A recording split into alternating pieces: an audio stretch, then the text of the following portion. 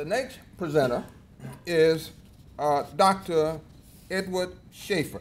And uh, Dr. Schaeffer is also at Johns Hopkins, eh, where he's associate professor of urology, oncology, and pathology.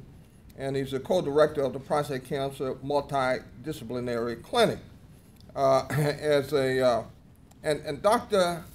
Dr. Schaeffer has spent some time, and, and I know Dr. Schaeffer and Dr. Carter work together, by the way. and, uh, but he's uh, completed a study uh, about active surveillance in African Americans.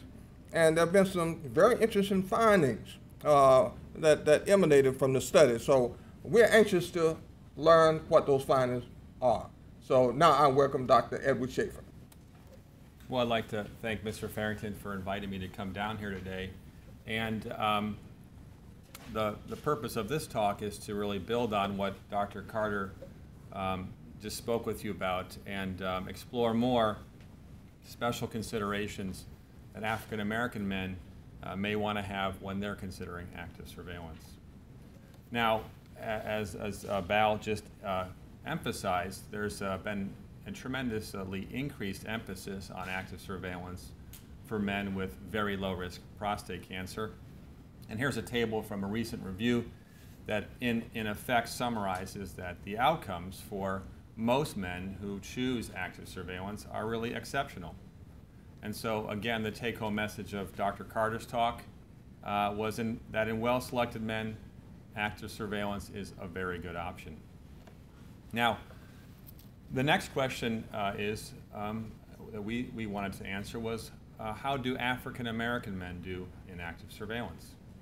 As uh, we just heard, most large uh, active surveillance cohorts contain very few African American men. Hopkins has about 7%. The other large cohorts, uh, Toronto, San Francisco, all contain few African American men. And the question was, um, do African American men who are considering active surveillance need special consideration? And so I know that you've heard about this in years past at this conference, um, and, um, and certainly uh, on all of our minds, but African Americans have worse prostate cancer outcomes than do Caucasians. And here's some statistics from the American Cancer Society, which really illustrate this significant discrepancy in outcomes.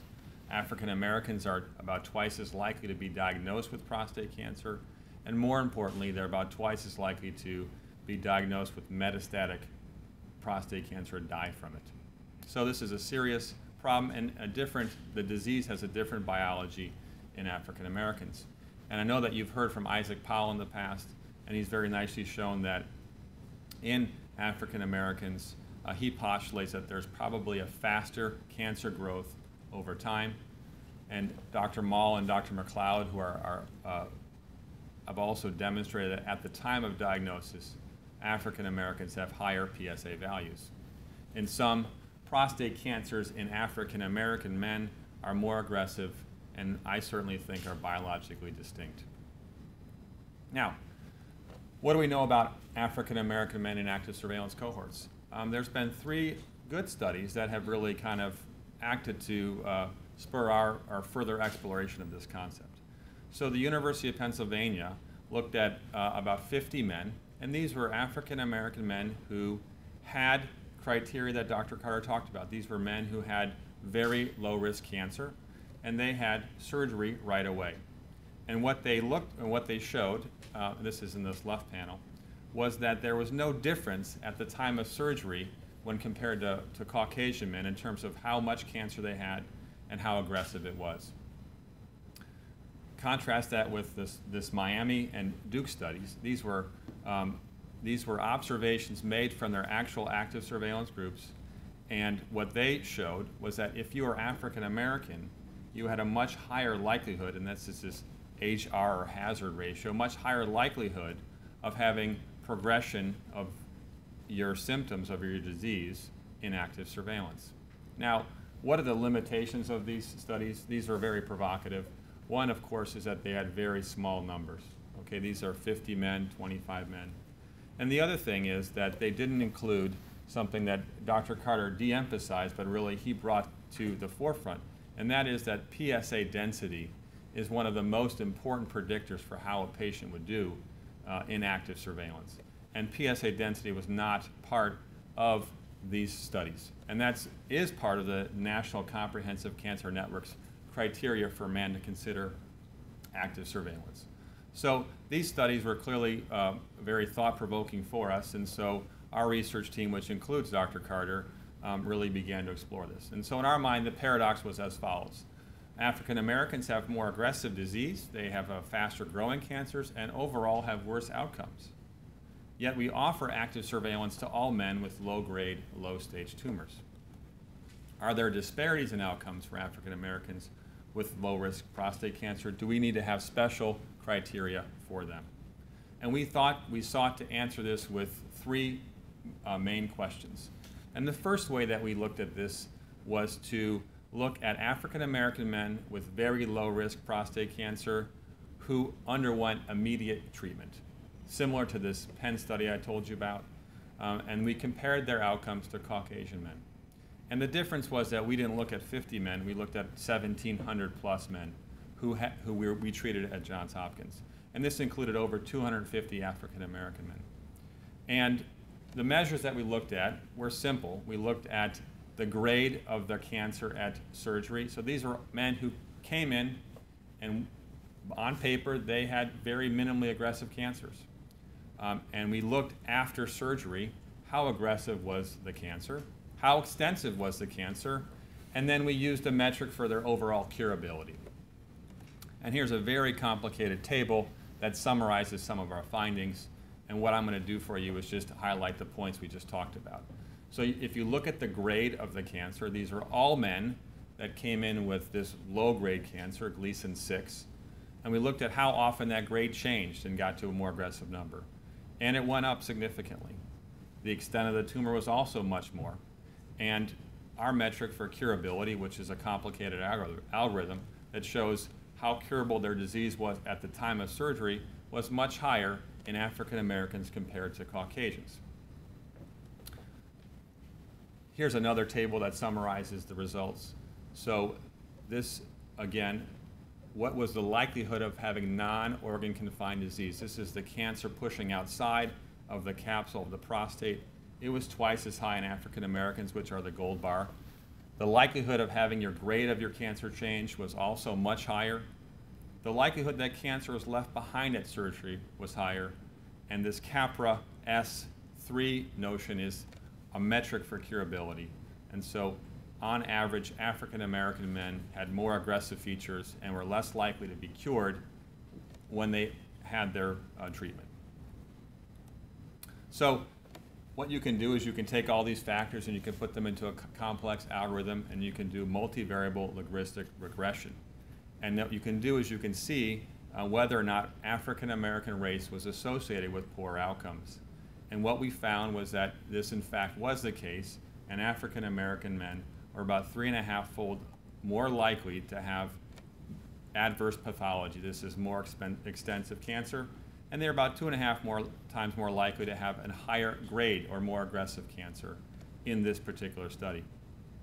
And so, in summary, uh, African Americans with very low risk prostate cancer had poorer prostate cancer specific outcomes.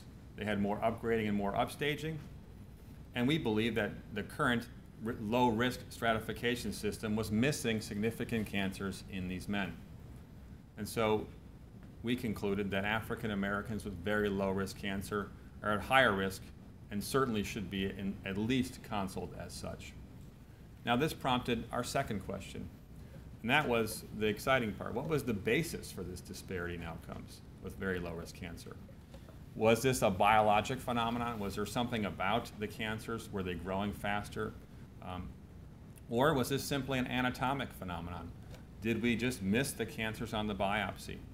And so to explore this uh, question, we utilize one of our tremendous resources at Johns Hopkins, which is uh, Dr. Jonathan Epstein. And he is really the world's premier prostate cancer pathologist. He looks at all the tissues under the microscope, and we asked him to look at uh, these cases I just described to you. And so what we did was we again took the same cases I just told you about. These are men who had surgery, and we looked at their prostates under the microscope. And what we, what we what we did was we looked for where the largest cancer was and where the highest grade cancer was. And we asked him to just chart it out. It's just a map, a template. And we looked at 100 cases of Caucasians and 100 cases of African Americans. And this is a picture of what Dr. Epstein looks at every day, a couple hundred times a day. These are, this is a, a prostate that was removed from a man. And just for some orientation, um, at the bottom of the screen would be the rectum. So when men go to see their doctor, they often have a rectal exam. The reason that they do is because you can feel the prostate on the rectal exam. And the bottom half of the slide, you can see in, there's four sections. The bottom half of the slide is the area of the prostate closest to the rectum. This is where we traditionally think most prostate cancers occur. And it's an area where we can easily access the prostate with a biopsy.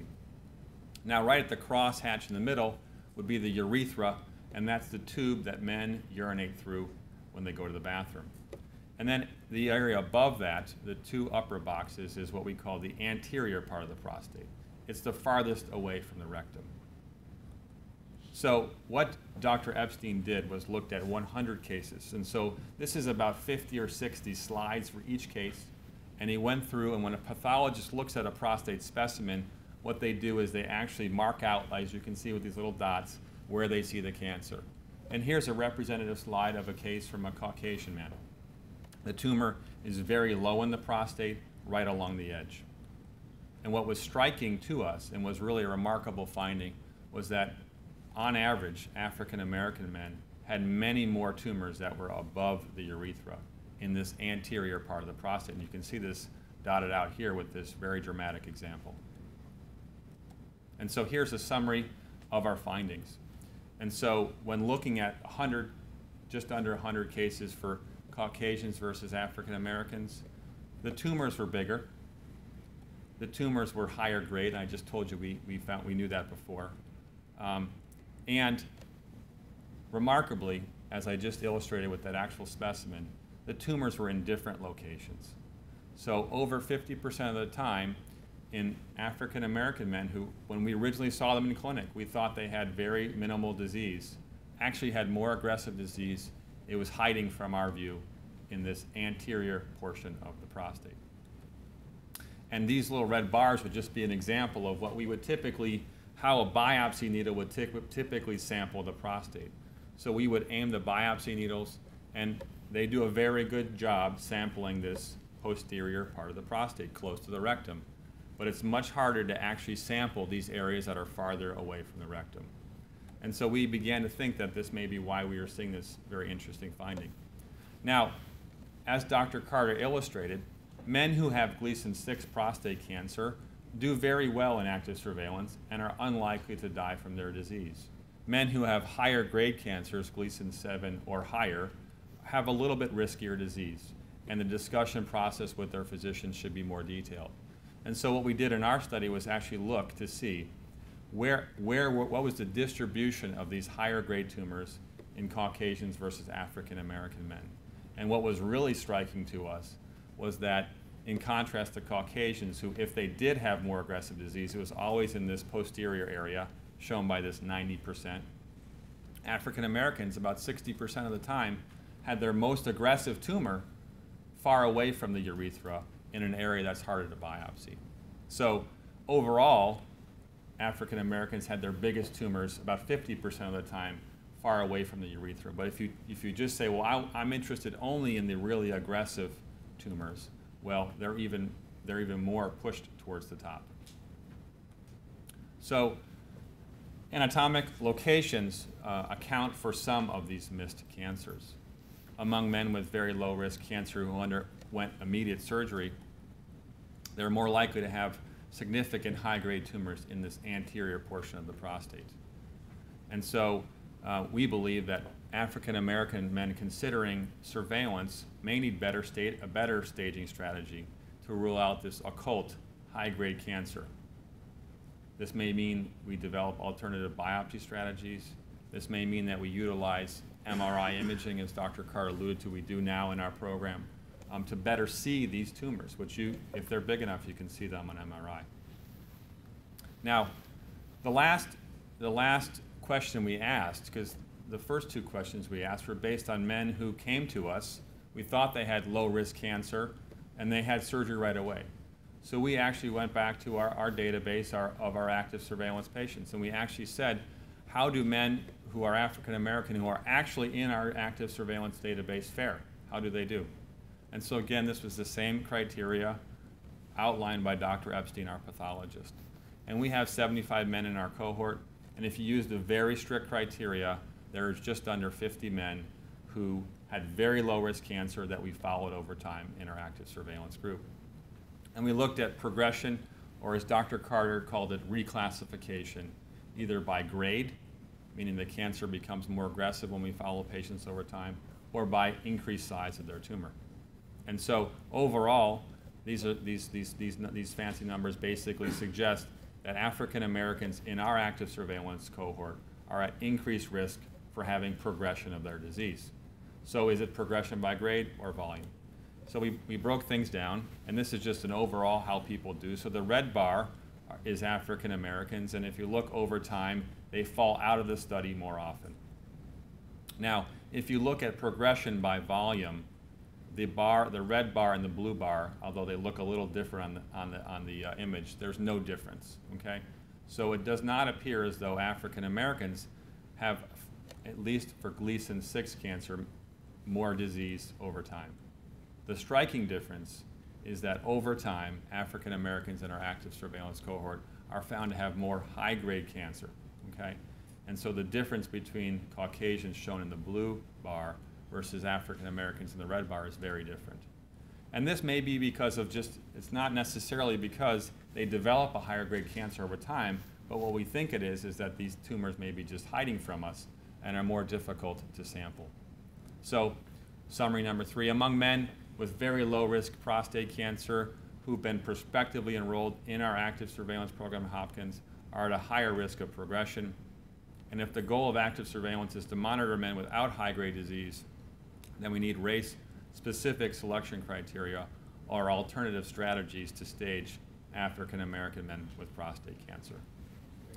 So in conclusion, um, African American men with NCCN, very low risk cancer, experience significantly different oncologic outcomes. Um, they, they have adverse pathology if they undergo immediate surgery.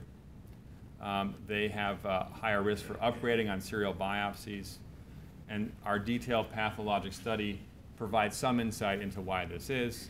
They have uh, higher grade cancers in locations that are more difficult to biopsy with their traditional approach.